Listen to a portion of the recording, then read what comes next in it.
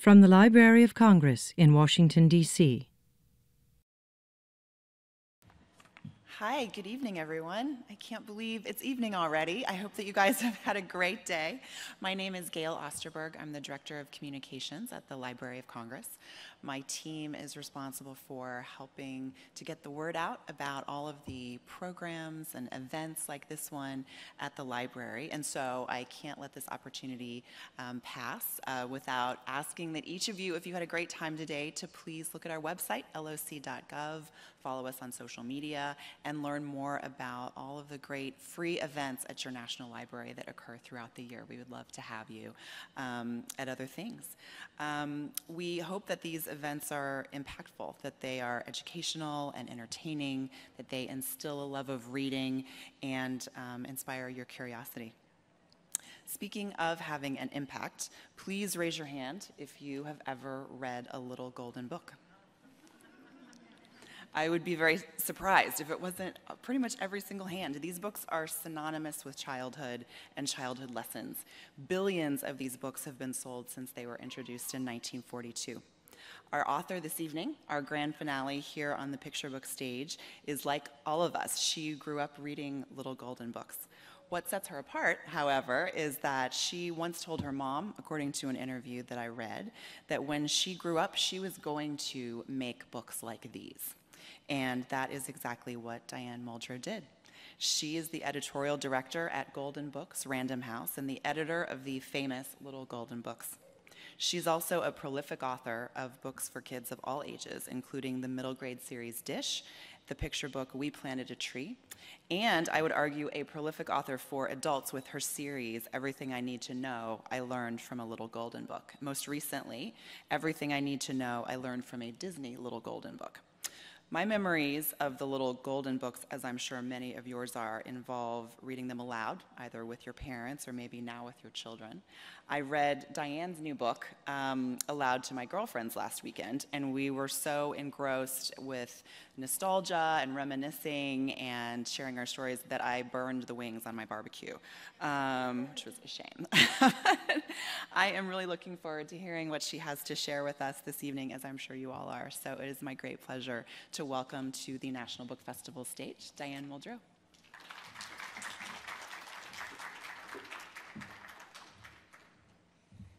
Thank you so much. That was such a nice introduction. I am really honored to be here today uh, among so many gifted writers and wonderful book fans. And uh, I guess that's how I, I, got started and how these books happened. I, I grew up reading little golden books. My mother uh, was a very uh, overachieving housewife and was wallpapering and cooking from scratch and uh, doing the gardening and the landscaping. And so, um, you know, I look at mothers today and they really play with their kids. I mean, I, am still from the generation where our parents didn't really maybe play with us in the way that parents do today. So I was very smart. I would, um, um, my mom says that all I really needed to be happy was um, to be read to. And I think partly that came from just wanting to be near her and to be close to her, and you know maybe she would sit down for a minute. So um, we had a little basket near the fireplace full of books, most of which were golden books, and most of which we got at the supermarket. And uh, that was my way of spending time with my wonderful, beautiful mother, who would, uh, who was, who I still, when I read the little golden books, I can still hear her voice reading them out loud. And that was a nice connection that we have. And it's been really fun for her to see me grow up and, and be the editor of Little Golden Books. Uh, so that's sort of a, a little bit of, of, the beginning. I started my career at Golden Books out of college in 1987. And um, it was, you know, I hadn't really thought about childhood books in a very long time. I didn't major in literature, I was a journalism major, and I also got at the same time a fine arts degree in modern dance. So I didn't take that lit path. And um, I had sent my resume, but I knew I wanted to work in children's publishing. At the end of my college career, uh, I was thinking, well, what am I going to do? I have these two degrees. What, what, should I do? And the answer came when I walked into the college bookstore in Athens, Ohio, and realized, you know, that I was turning into the children's section, and as I had always done. And finally, a light bulb went off, and I thought, oh, you know, this is where I always go in a bookstore first. Maybe I should work in, in children's books. So that's what happened. I had always read and I had always written, actually. I had written, I actually have curvature of the spine from um, sitting and writing left handed over my desk. And uh, so, uh, so that's uh, sort of the beginning of it. Um, a lot of people don't realize that Little Golden Books have been around since 1942. They came out in the height of World War II, which was America's, the height, I mean, they came out in 1942, which was the height of America's involvement in World War II. And they quickly reprinted in the tens of thousands. They launched with 12 titles. One you may have heard of. It's the only one from that 12 original list of 12 titles called The Poky Little Puppy.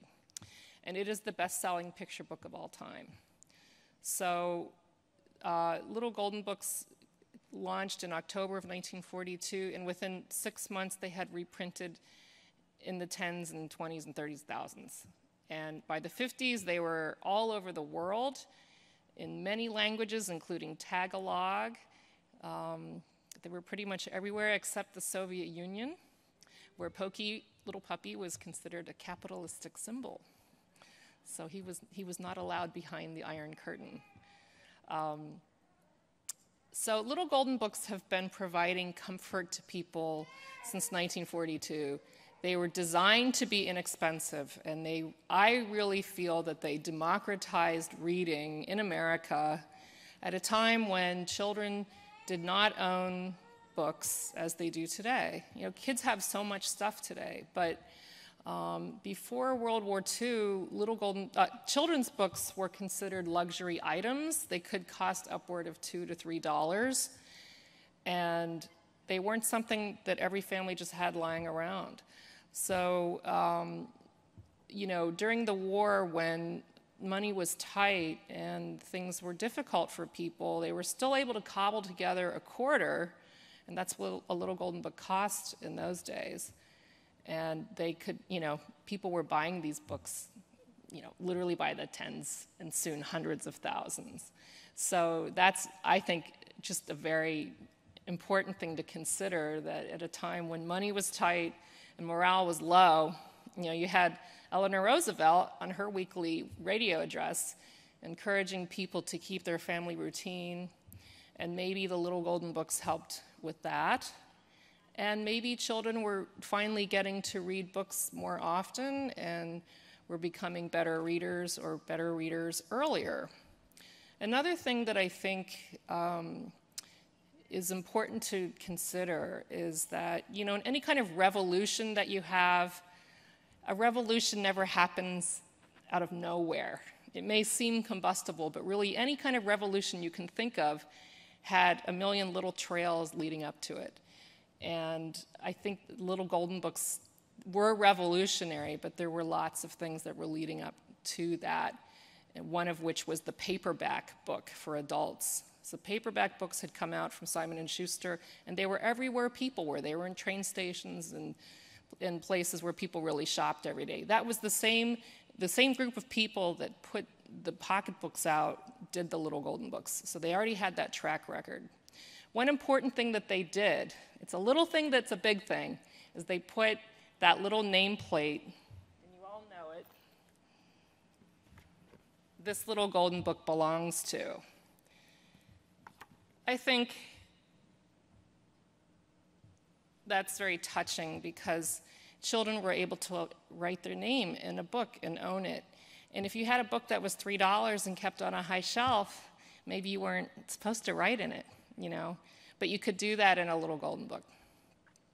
So I've worked at Little Golden Books for uh, twice in my career for over 20 years, and uh, I've written many children's books, including many Little Golden Books.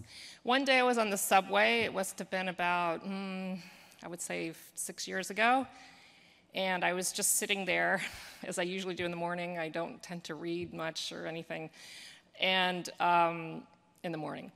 And suddenly, everything I need to know I learned from a little golden book popped into my head. It just popped into my head, just like that.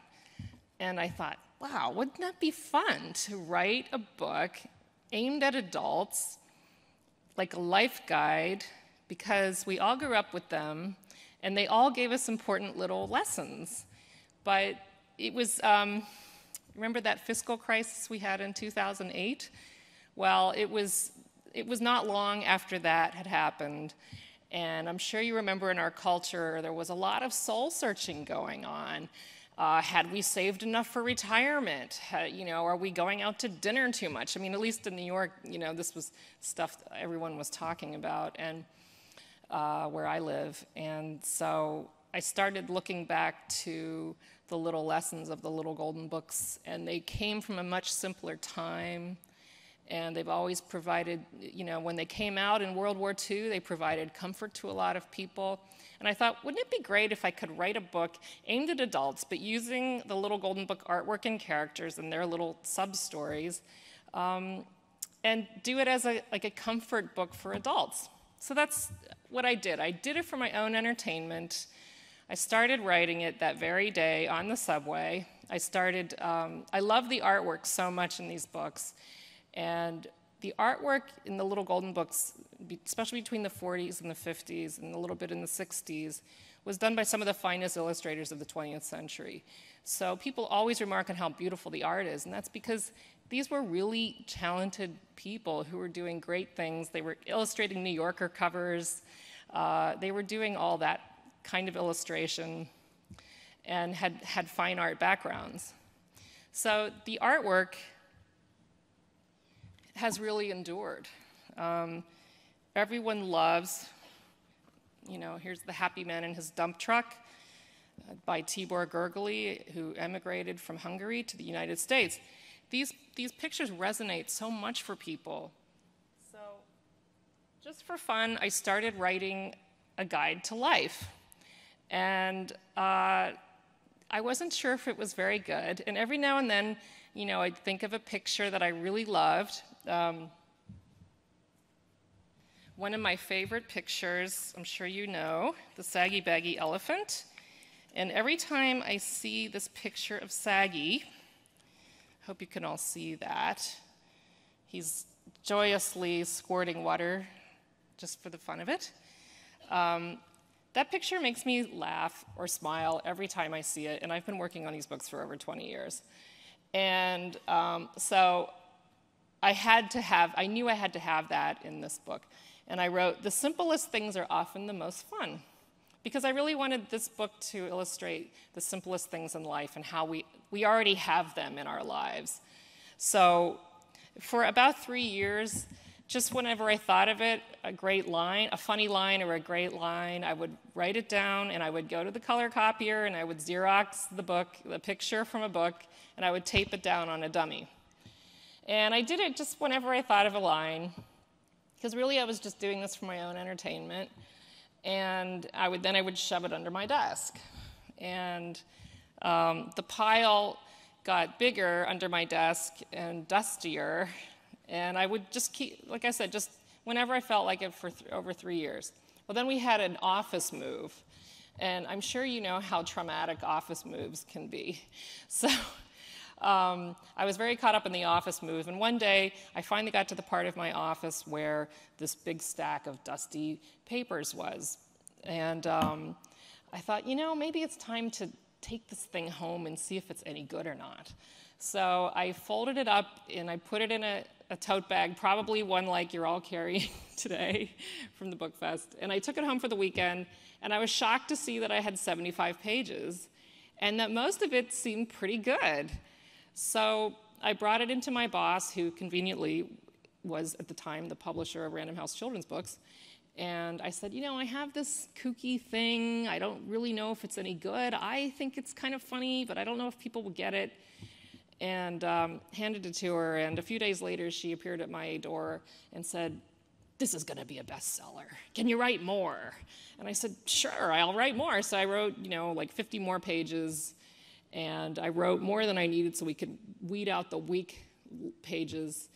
And um, with her help, it, it, really got much better. I would, I think I, she was the one that actually told me, um, you just want one line on a page. I had sometimes little descriptions of the characters and the stories and why we should revere them. And she thought, no, just one line on a page. So she simplified it, it, and it really made it better.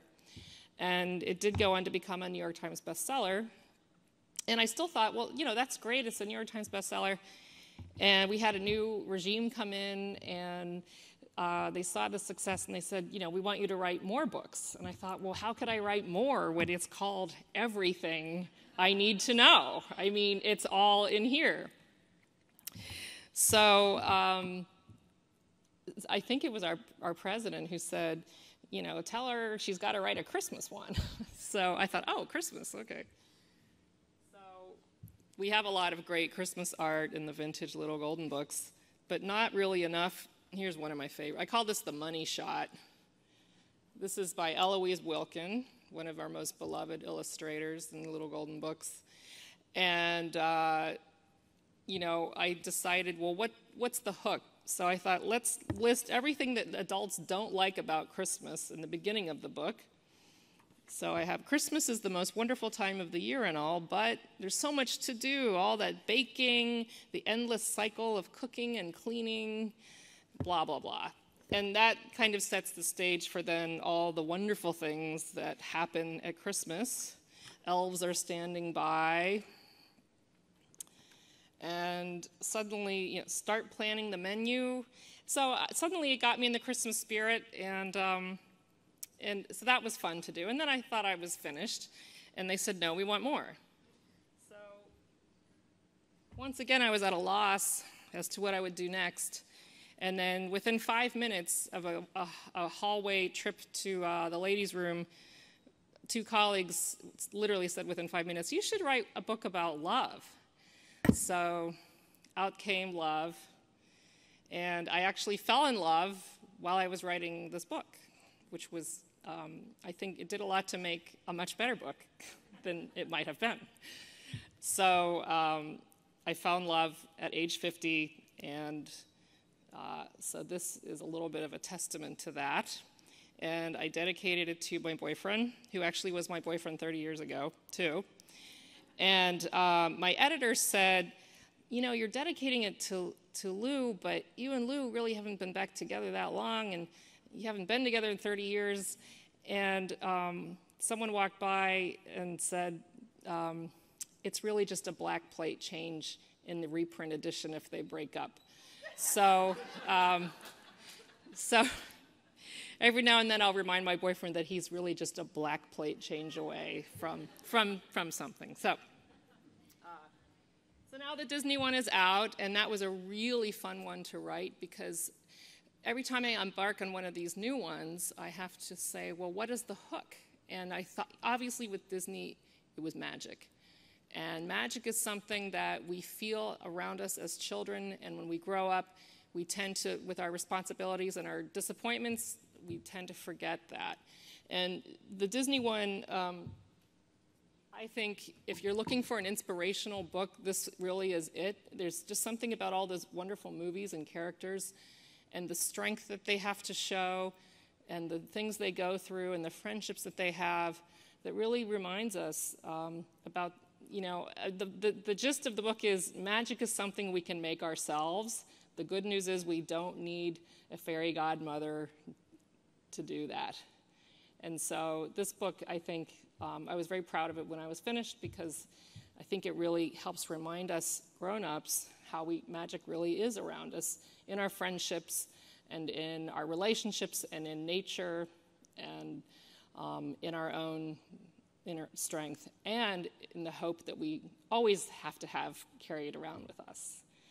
So that's just sort of the gist of um, what I'm doing with these books. There's another one coming out in spring of 17, Everything I Need to Know About Family. And I can't tell you what will happen after that, but it's just been a wonderful thing to be able to be the editor, editor and caretaker of this line and then be able to write these fun books that remind adults how much they loved those books. So it's, an, it's a Valentine to Little Golden Books, but it's also a Valentine to all of you who grew up with them and love them so much. So I'm happy to take questions if you like, if anybody has any questions. Anybody out there? I'm going to come down now, just because I can't, it's hard to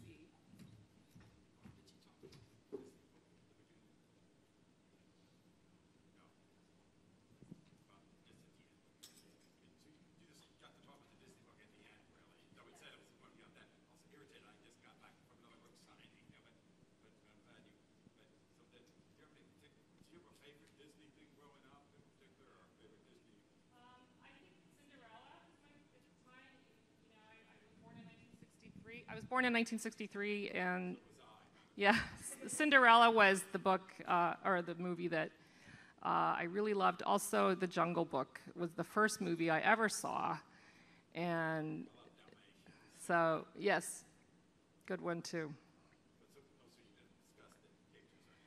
Not so much. I will tell you that the Disney artists, um, you know, these were some of the, again, some of the finest illustrators and animators of their time.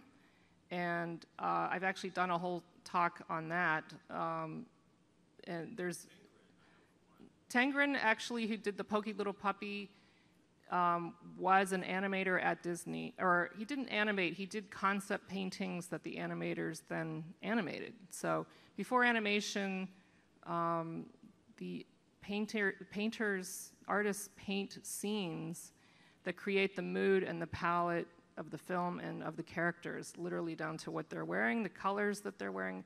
Peter Pan, think of all the green in that movie. Mary Blair was the, the, concept artist who did that. Mary Blair then went on to illustrate I Can Fly, which was a great golden book. So there's a very interesting tie between the Disney artists and Little Golden Books. And there's a great book out by Charles Solomon. Um, if you want to read more about that, I got to give a talk with him about that and I'm blanking out on the book, but I think it's called The Art of Disney Little Golden Books. You have a question? Yes.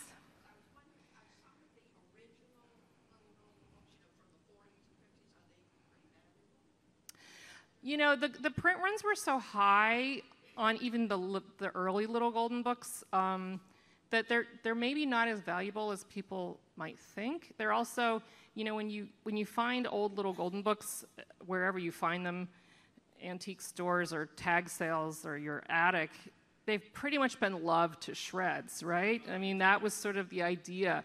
Go- little golden books were very, they were designed to be sturdy and they held up, you know. Um, but there are, there are some that are very valuable if you can find them. Those tend to be the ones that had the paper dolls in them or things with movable parts, the little golden activity books. But those are hard to find altogether because the kids always cut out the paper dolls or, you know, whatever it was. Yes.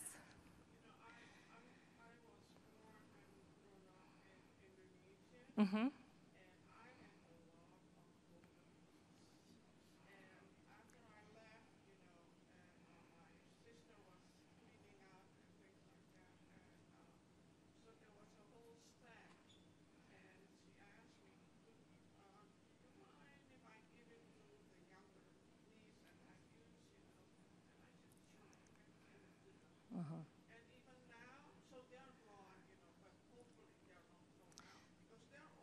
Yeah. Mm-hmm. Okay. Oh, that's wonderful. If you couldn't hear her, this is a lady who grew up in Indonesia who had English language copies and learned to learned English from them.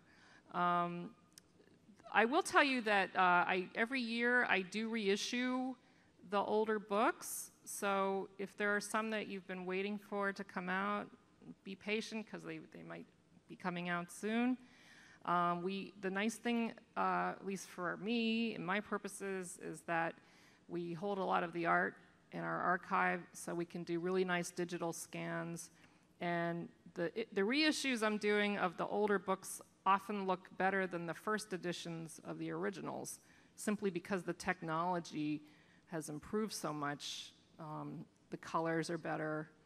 So, um, and then every year I also put out new little golden books that I hope will be the classics of tomorrow. So I don't think I will consider my job a success until I'm, you know, 85. And by then, um, we'll see how many of the books I put out, if they're still in print, I'll think that I did a good job.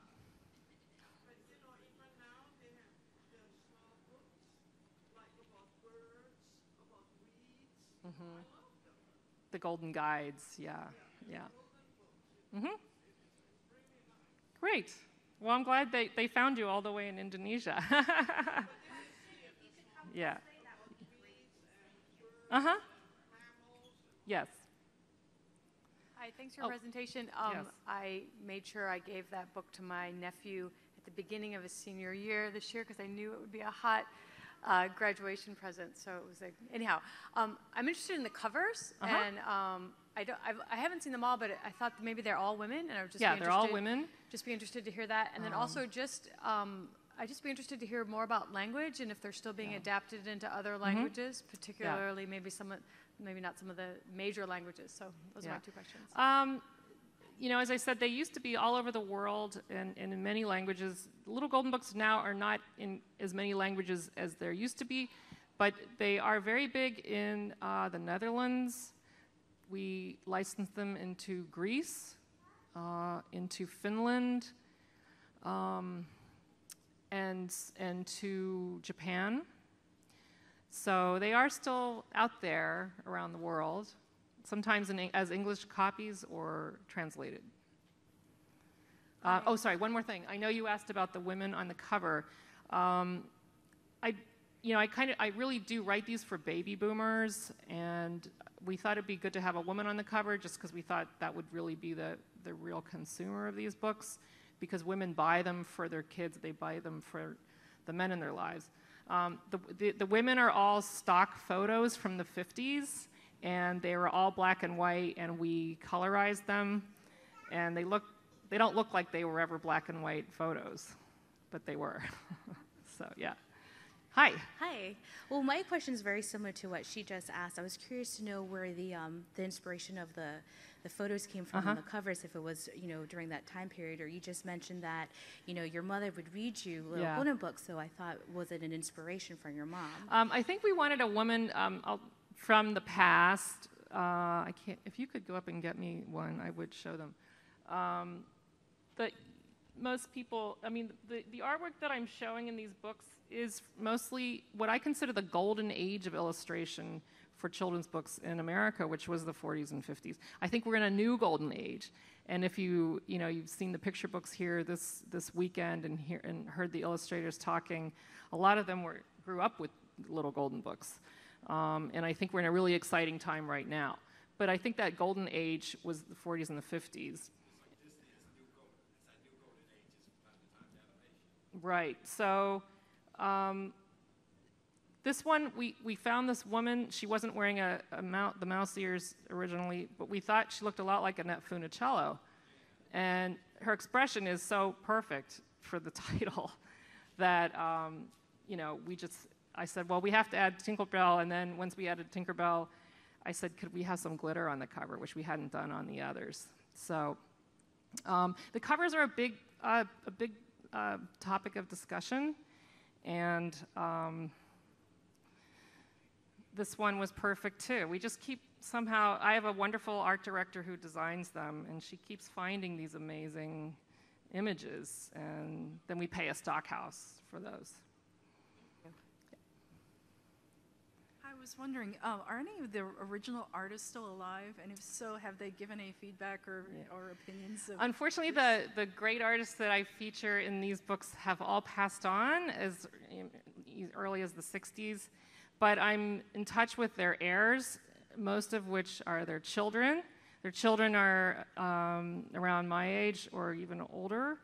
Um, and they're, the children are mostly wonderful caretakers of their parents' legacies and are really thrilled with these books because they feel that it brings more attention to their parents' work, even though their parents' work is still in print.